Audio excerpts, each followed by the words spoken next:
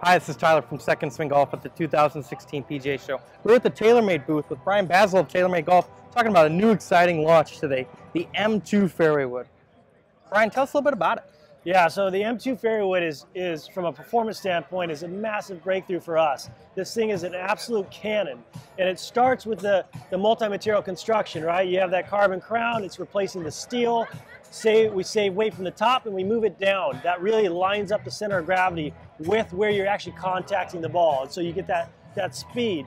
And then on top of that, we have our most flexible speed pocket that we've ever had. So it's 22% more flexible than AeroBurner.